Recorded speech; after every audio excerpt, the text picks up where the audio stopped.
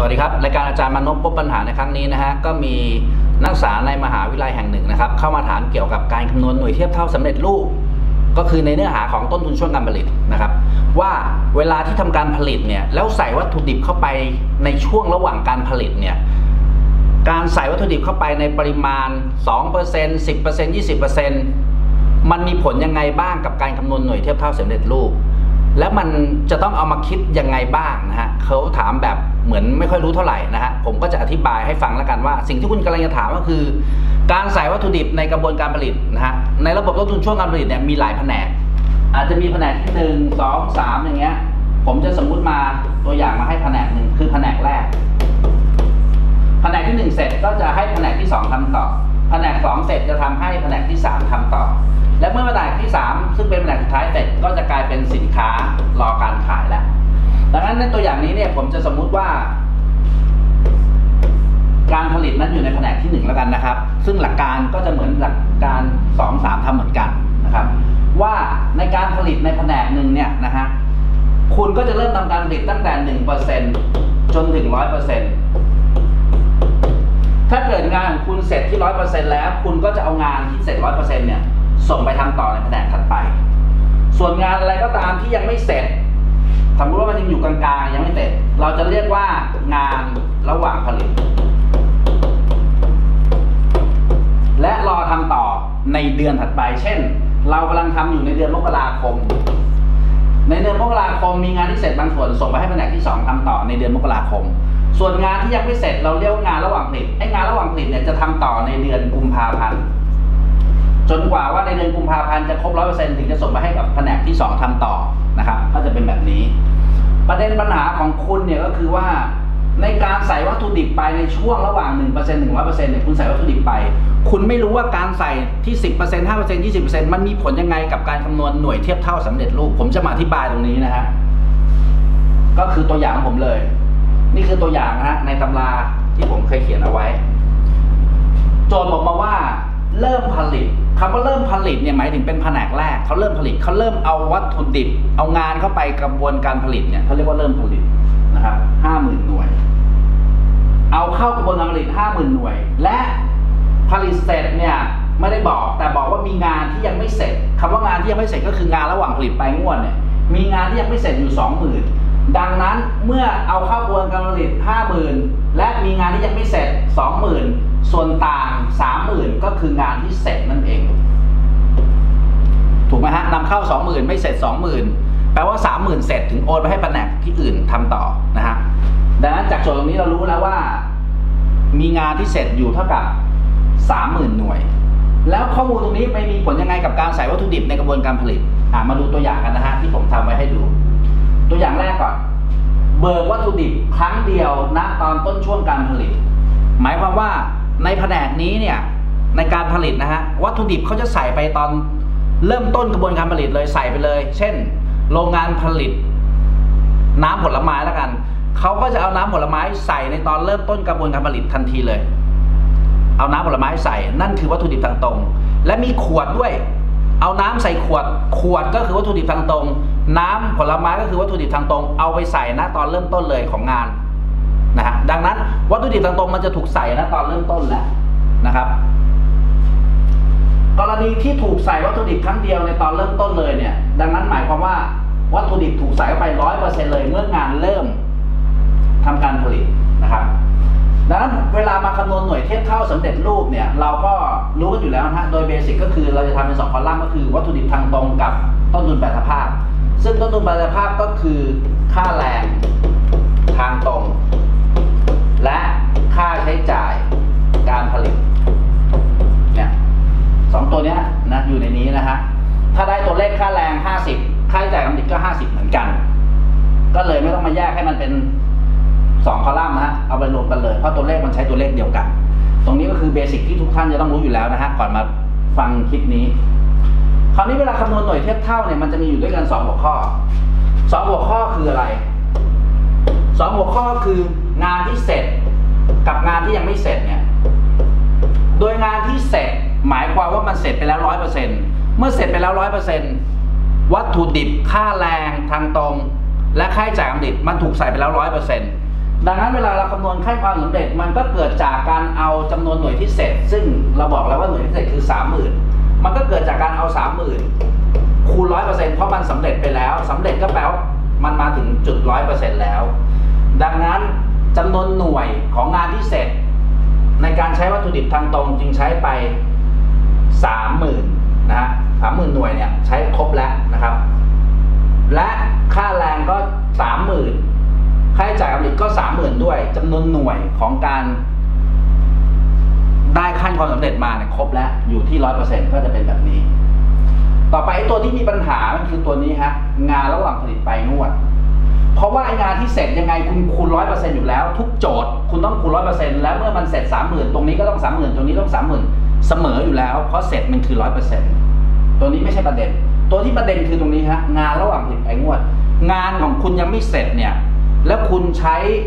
วัตถุดิบเท่าไหร่ แล้วคุณใช้ค่าแรงทางตรงเท่าไหร่ แล้วคุณใช้ค่าใช้จ่ายการผลิตเท่าไหร่เนี่ยเราจะต้องมาหากัน หลักการของผมเป็นอย่างนี้นะฮะเรามีข้อสมมติฐานในการเรียนบัญชีต้นทุนก็คือ วัตถุดิบเนี่ย คุณต้องดูดูเอง ว่าใช้เท่าไหร่ ดูว่าใช้เท่าไหร่ไอ้คำว่าวัตถุดิบของผมเนี่ยมันหมายถึงวัตถุดิบทางตรงนะฮะมันหมายถึงวัตถุดิบทางตรง ต้องเขียนให้ชัด วัตถุดิบทางตรง คุณต้องดูเองนะว่าใช้เท่าไหร่ ส่วนค่าแรงทางตรง และ ค่าใช้จ่ายการผลิต หรือโสหุ้ยเนี่ยนะฮะตรงนี้เนี่ยหลักการคิดเหมือนกันเขาบอกว่ามันจะเกิดขึ้นอย่างสม่ำเสมอ ใช้ค่าแรงเท่าไหร่ก็ใช้พวกค่าใช้จ่ายการผลิตเนี่ยมันเกิดขึ้นมาคู่กันด้วยสัดส่วนเปอร์เซ็นต์เท่ากัน ตรงนี้ก็บอกว่ามันเกิดขึ้นอย่างสม่ำเสมอ ก็คือสัดส่วนมันเท่ากันนั่นเอง ถ้าค่าแรง ช้ไปค่าความสำเร็จอยู่ที่ 40%ค่าใช้จ่ายการผลิตก็ 40%ด้วย ถ้าค่าใช้จ่ายการผลิตอยู่ที่ 60 ค่าแรงก็ 60%ด้วยเหมือนกันอย่างเงี้ย แต่ตัววัตถุดิบเราต้องไปดูตามโจทย์เอง มันก็ต้องไปดูที่เงื่อนไขนะฮะไอ้ตรงนี้ต้องดู ต้องดูเอง ส่วนนี้โจทย์จะบอกมาอยู่แล้วว่าขั้นความสำเร็จเท่าไหร่ ตรงนี้ก็ดูจากโจทย์ได้เลย ตอบได้เลยใช้ตัวเลขนี้ได้เลยนะฮะแต่ไอ้ตัวนี้ต้องดูเองต้องวิเคราะห์เองสำหรับวัตถุดิบทางตรง คราวนี้กลับมาที่ตรงนี้ไอ้งานระหว่างผลิตเนี่ย ที่ทำสองคอลัมน์เพราะว่าไอ้ตัวเนี้ยคือวัตถุดิบทางตรง ผมใช้ตัวสั้นๆ ย่อว่า DM เนี่ยเนี่ยคือบรรทัดของ DM ส่วนตัวนี้ก็คือบรรทัดของต้นเมลภาพนะฮะผมใช้คำว่า CC ก็คือ conversion cost อย่างเงี้ยนะฮะ คราวนี้ตามที่บอกไปก็คือ เอาแบบตัวง่ายเลยนะ ตัวง่ายก็คือว่า ไอ้สี่สิบเปอร์เซ็นเนี้ยของต้นทุนแปรสภาพเนี่ยคือไอ้ตรงเนี้ย เราเรียกว่าว่ามันต้นทุนแปรสภาพเนี่ยเนี่ย เราเรียกว่าต้นทุนแปรสภาพ conversion cost เนี่ย เราเรียกว่าต้นทุนแปรสภาพเนี่ยนะฮะ ต้นแปรภาพเนี่ยคุณดูตรงนี้เลยตามที่ผมบอกเลยว่ามันง่ายเพราะโจทย์จะบอกมาเลย คุณก็ต้องเอาจำนวนหน่วยคูณค่าความสำเร็จคุณดูสิฮะไอ้สี่สิบเปอร์เซ็นต์มาจากตรงเนี้ยฮะนี่ไงขั้นความสำเร็จของงานระหว่างผลิตไปงวดเนี่ย จริง ๆ แล้วเขาบอกแค่เพียงตัวต้นแบบภาพเท่านั้นเนี่ย คุณล่อมันมาใส่เลยคูณ 40%เลย เอาจำนวนหน่วยของงานระหว่างผลิตไปงวดก็คือ 20,000 หน่วยใช่ไหมฮะเนี่ย20,000 หน่วยไปงวด ส่วนต้นทุนแปรภาคคูณ 40%ตามขั้นตอนสำเร็จเลย คุณก็เลยจะได้มาว่าเอา 20,000คูณ 40%ได้ 8,000 อยู่ในหัวข้อของต้นทุนแปรภาคเนี่ยหน่วยเทียบเท่า ส่วนไอ้ DM เนี่ยคุณต้องใช้การวิเคราะห์ด้วยความรู้ตามที่ผมบอกเลยเลยว่าเนี่ยไอ้วัตถุดิบทางตรงคุณต้องดูเองเขาไม่ได้บอกมา ดังนั้นดูดูยังไงคุณดูสิฮะงานเนี่ยมันเพิ่งเริ่มต้นที่ 1%มันก็ใช้วัตถุดิบทางตรงไปแล้ว 100% ดังนั้นแม้งานมันยังยังไม่เสร็จคำว่ายังไม่เสร็จก็คือยังไม่ครบร้อยเปอร์เซ็นต์แต่คุณก็ต้องใช้วัตถุดิบไปร้อยเปอร์เซ็นต์ใช่ไหมฮะเพราะมันวัตถุดิบมันถูกใส่ไปร้อยเปอร์เซ็นต์ตั้งแต่เริ่มผลิตแล้วไงแม้งานยังไม่เสร็จเพราะหัวข้อมันบอกว่างานระหว่างผลิตไปงวด คุณก็ต้องเอาจำนวนหน่วยคูณร้อยเปอร์เซ็นต์อยู่ดีเพราะวัตถุดิบมันถูกใช้ครบแล้วตั้งแต่เริ่มต้นการผลิต ดังนั้นไม่ว่าคุณจะผลิตอยู่ที่สิบเปอร์เซ็นต์ที่สิบเปอร์เซ็นต์สามสิบเปอร์เซ็นต์ห้าสิบเปอร์เซ็นต์เจ็ดสิบเปอร์เซ็นต์แม้งานยังไม่เสร็จ ครบร้อยเปอร์เซ็นต์แต่วัตถุดิบทางตรงคุณถูกใส่นะตอนเริ่มต้นแล้วร้อยเปอร์เซ็นต์ดังนั้นตรงนี้จึงต้องคูณร้อยเพราะร้อยเปอร์เซ็นต์ถูกใส่นะตอนเริ่มต้น แม้จะยังไม่เสร็จก็ตามก็ต้องถูกใช้ไปร้อยเปอร์เซ็นต์ดังนั้นเมื่อคุณเอาสองหมื่นคูณร้อยเปอร์เซ็นต์ก็จะได้สองหมื่นแล้วคุณค่อยรวมกันสามหมื่นบวกสองหมื่นกลายเป็นห้าหมื่นส่วนต้นเวลาภาพที่เสร็จสามหมื่นก็บวกแปดพันกลายเป็นสามหมื่นแปดแล้วคุณค่อยเอาจำนวน นี้ไปคำนวณต้นทุนต่อหน่วยต่อไป ตรงนี้ผมจะไม่พูดถึงแล้วผมจะพูดแค่เพียงหลักการคิดของไอ้งานระหว่างไปงวดเท่านั้นที่เป็นประเด็นนะครับ ที่คุณถามอะมาดูตัวอย่างใหม่กรณีนี้เบิกใช้วัตถุดิบทางตรงครั้งเดียว ระหว่างช่วงการผลิตเห็นไหมคำว่าระหว่างช่วงการผลิตก็คือหนึ่งถึงร้อยคุณมาเบิกใช้ตอนที่งานเนี่ยเสร็จไปหกสิบเปอร์เซ็นงานมันเสร็จไปหกสิบเปอร์เซ็นคุณดูนะฮะ คุณเนี่ยจะเบิกวัตถุดิบเข้าไปใช้เนี่ยร้อยเปอร์เซ็นเนี่ยคุณจะเบิกวัตถุดิบเข้าไปใช้ วัตถุดิบของคุณเนี่ยที่คุณจะต้องใช้ทั้งหมดเนี่ย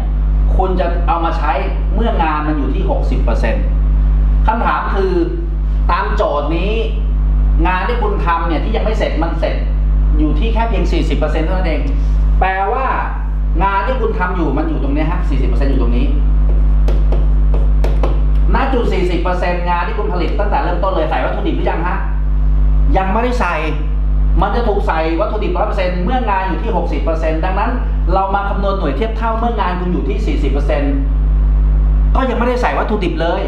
เพราะมันจะใส่วัตถุดิบ 100%เมื่องานอยู่ที่ 60%ดังนั้นข้อนี้เวลาคำนวณหน่วยเทียบเท่า ก็ตรงนี้เหมือนเดิมถูกไหมฮะเสร็จมันก็ต้องคูณ 100%อยู่แล้วอันนี้ไม่มีปัญหา ส่วนไอ้ตัว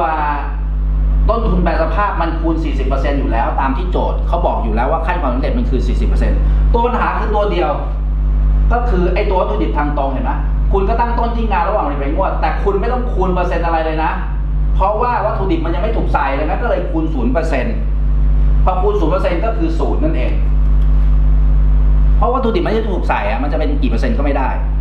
แล้วเราค่อยเอา 30,000บวก0ก็กลายเป็น 30,000 30,000บวก8,000กลายเป็น 38,000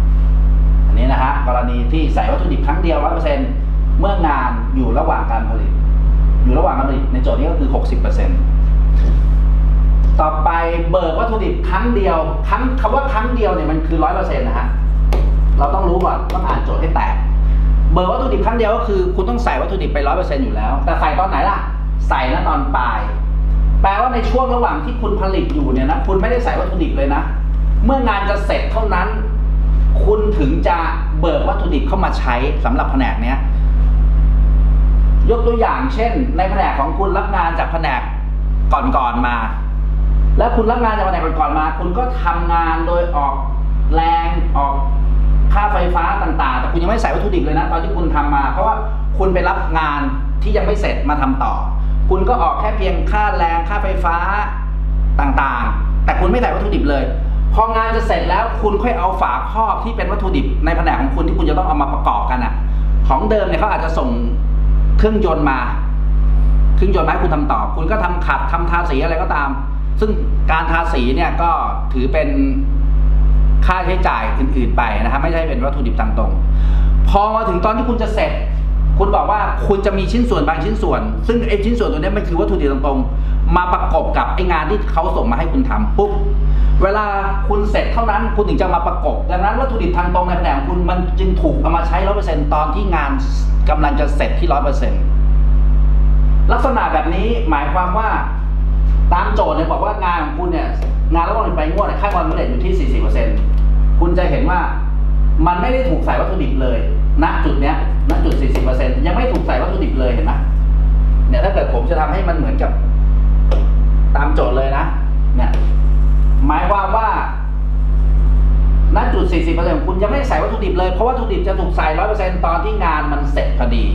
ดังนั้นคำว่างานระหว่างผลิตไปงวดในโจทย์ตรงนี้เนี่ย วัตถุดิบมันก็เลยต้องคูณ 0%ไองานที่ยังไม่เสร็จเนี่ยวัตถุดิบต้องคูณ 0%เพราะว่ามันยังไม่ถูกใส่ไงณจุดที่คุณทำงานอยู่สิ้นเดือนปิดรอบเนี่ยงานคุณเสร็จไปแค่ 40%ยังไม่ใส่วัตถุดิบเลย คุณก็เลยต้องคูณ 0% เพราะว่าวัตถุดิบมันรอใส่ตอนนี้อะต่อไปนะฮะตัวอย่างใหม่ เบิกใช้วัตถุดิบทางตรงหลายครั้ง เมื่อโจทย์มันเป็นลักษณะแบบนี้ก็คือเบิกวัตถุดิบทางตรงหลายครั้งแปลว่าในแต่ละครั้งเนี่ยมันอาจจะไม่ใช่ร้อยเปอร์เซ็นต์แล้ว มันอาจจะทีละยี่สิบสามสิบห้าสิบเพราะมันหลายครั้งอะถ้าครั้งเดียวมันคือร้อยเปอร์เซ็นต์อยู่แล้วในการใส่วัตถุดิบนะฮะตัวอย่างนี้ก็คือเขาจะใส่วัตถุดิบเข้าไป เบิกวัตถุดิบเข้าไป 20%เมื่องานอยู่ที่ 40% และรอจนถึงงานอยู่ที่ 50%ค่อยใส่วัตถุดิบอีก 80%เห็นไหมคำว่าหลายครั้งก็คือเนี่ยฮะ20%ครั้งหนึ่ง80%ครั้งหนึ่งเนี่ยหลายครั้งก็คือ 2 ครั้ง ตามโจทย์ข้อนี้คือ 2 ครั้ง ดังนั้นคุณดูสิฮะ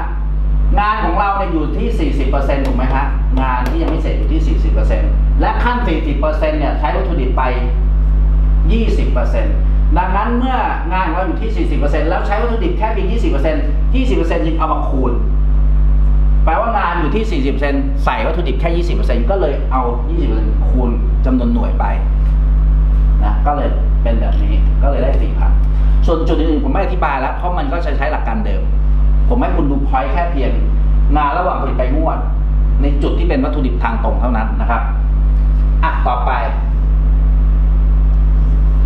ตรงนี้ว่า เบิกวัตถุดิบอย่างสม่ำเสมอตลอดช่วงการผลิตเนี่ยแปลว่าเบิกอย่างสม่ำเสมอเลยแปลว่าณจุดที่งานเริ่มต้นถึงร้อยเปอร์เซ็นมันจะใส่วัตถุดิบไปตลอดเท่าๆกันทุกๆทุกทุกช่วงเวลาเลย เท่าๆกันเลย ดังนั้นเมื่องานของคุณเนี่ยงานระหว่างผลิตไปก็ของคุณอยู่ที่40เปอร์เซ็นตรงนี้ที่ใส่วัตถุดิบไปทั้งหมด คุณก็ต้องใช้วัตถุดิบไป40เปอร์เซ็นด้วย มันก็เลยเป็นที่มาว่า40เปอร์เซ็นตรงนี้ก็คือตัวนี้แหละ นะครับ เพราะมันเกิดสม่ำเสมอถามถามจากโจทย์นี้ ถ้างานมันเสร็จที่ 60%อันนี้เป็นคำถามผมเองนะ ไม่เกี่ยวกับโจทย์ งานอยู่ที่ 60%ถามว่าตรงนี้ 20,000คูณเท่าไหร่ฮะเมื่องานอยู่ที่ 60%มันก็ต้องใช้วัตถุดิบไปแล้ว 60%เช่นกัน ตรงนี้ก็ต้องเป็น 60%อะดูใหม่ตัวอย่างนี้บ้าง เบิกใช้วัตถุดิบอย่างสม่ำเสมอ แต่ว่าไม่ได้สม่ำเสมอทั้ง 100%เบิกสม่ำเสมอแค่เพียงบางช่วง เนี่ย ช่วงงาน 50 ถึง 80 เท่านั้นถึงจะเปิดสม่ำเสมอ ช่วง 1 ถึง 40 ไม่ได้ใช้เลย คุณดูดิ 1 ถึง 40เปอร์เซ็นต์เนี่ย ไม่ได้ใช้เลยนะ วัตถุดิบจะมาถูกใส่เมื่องานอยู่ที่ 50%เป็นต้นไป และจะใส่ครบเมื่องานอยู่ที่ 80%ด้วยดังนั้นหลัง 80%ไม่ต้องใส่วัตถุดิบแล้ว เพราะมันถูกใส่ครบแล้ว 100%แล้วนะฮะ ดังนั้นถ้าเกิดตรงนี้หมายความว่าถ้าเรายืนอยู่หน้างานระหว่างผลิตไปเมื่อ40%แปลว่าวัตถุดิบไม่ได้ถูกใช้เลย เพราะวัตถุดิบมันจะถูกใช้เริ่มต้นใช้ตอนที่งานอยู่ที่50%อาคารตรงนี้บ้าง ตัวอย่างเดียวกันก็คือ เบิกใช้วัตถุดิบสม่ำเสมอ บางช่วงอะบางช่วงแบบนี้เป็นยังไงบ้าง บางช่วงตรงนี้ก็คือ ช่วง1ถึง20ไม่ได้ใช้วัตถุดิบเลยนะแล้วก็จะเริ่มใช้วัตถุดิบเมื่องานอยู่ที่ 20%จนถึง 40%แปลว่าเมื่องานอยู่ที่ 40%แล้ว ใส่วัตถุดิบครบ100%แล้ว และหลังจากงาน